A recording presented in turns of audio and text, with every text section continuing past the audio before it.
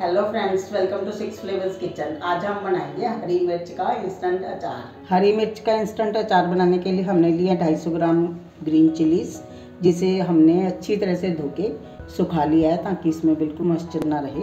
अब हम इसे इस तरह से डायगनल काट काट लेते हैं। आप चाहे जैसे मिर्ची काट लो, चाहे पूरी साबुत मिर्च रख के उसमें चीरा लगा लो, चाहे राउंड काट लो, पर ऐसे कटी हुई थोड़ी अच्छी लगती हैं। अब हम इस तरह से अपनी सारी मिर्ची को काट लेते हैं। हमने अपनी सभी ग्रीन चिलीज को काट लिया है। अब हम बनाएँगे इसके लिए ड्राई मसाला पाउडर। एक पैन में हम लेंगे एक चम्मच जीरा। तीन चम्मच राई।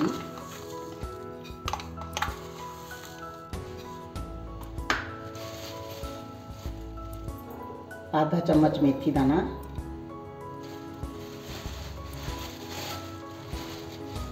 दो चम्मच सौंफ।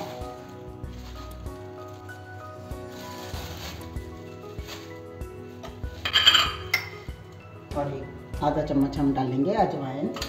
इन्हें हम थोड़ा सा सेक लेंगे ताकि अगर कोई मॉइस्चर हो तो ख़त्म हो जाए, फिर हम इन्हें पीस लेंगे दरदरा पीस लेंगे।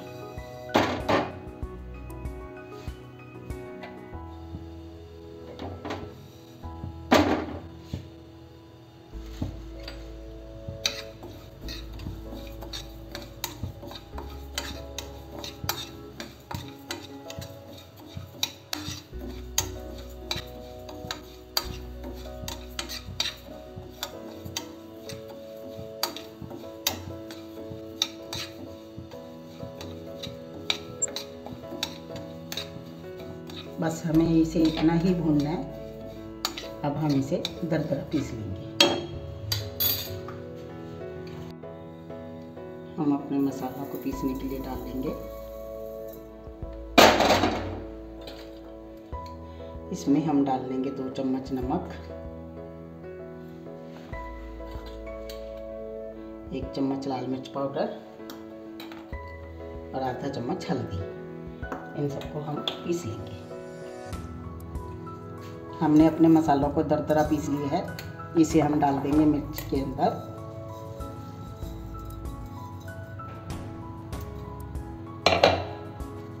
और इसे हिला देंगे।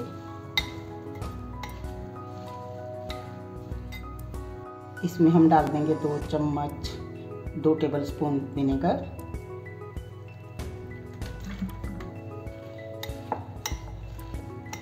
अब हम इसमें सरसों का तेल गरम करके डालेंगे।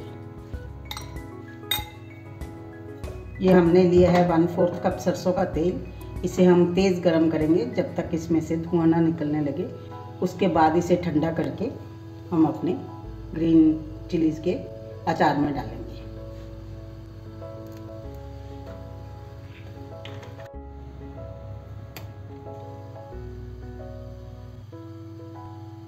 हमारा तेल गरम हो गया है, इसमें से धुआँ निकल रहा है। अब हम अपना गैस बंद कर देंगे और ठंडा करके हम अपने अचार में डालेंगे। हम ये तेल इसलिए गरम करते हैं कि एक तो तेल पक जाता है, एक इसकी सरसों ऑयल की स्मेल चली जाती है। हमारा तेल ठंडा हो गया है, हम अपने तेल को चिलीज़ के ऊपर डाल देंगे।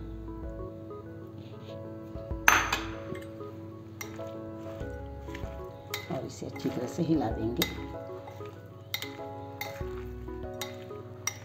ये तेल आ, ये अचार एक महीने तक ख़राब नहीं होता पर अगर आप इसे फ्रिज में रखते हो तो इसका कलर भी ऐसे ग्रीन ही रहता है और हमेशा ही ऐसे फ्रेश दिखता है और ज़्यादा देर तक चल जाता है।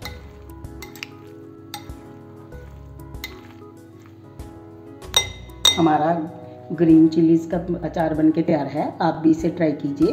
और अपना एक्सपीरियंस हमारे साथ शेयर कीजिए।